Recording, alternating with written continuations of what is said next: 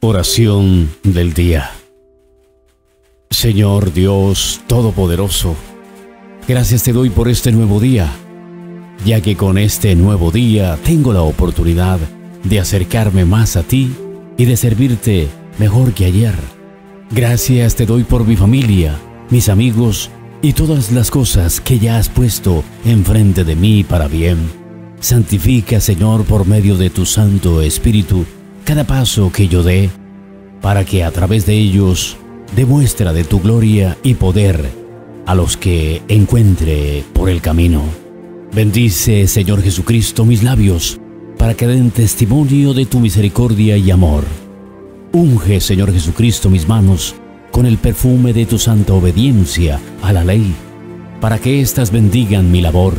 Abre mis ojos para que vean tu resplandor y así poder tenerte como luz que dé claridad a todas las decisiones que hoy tome.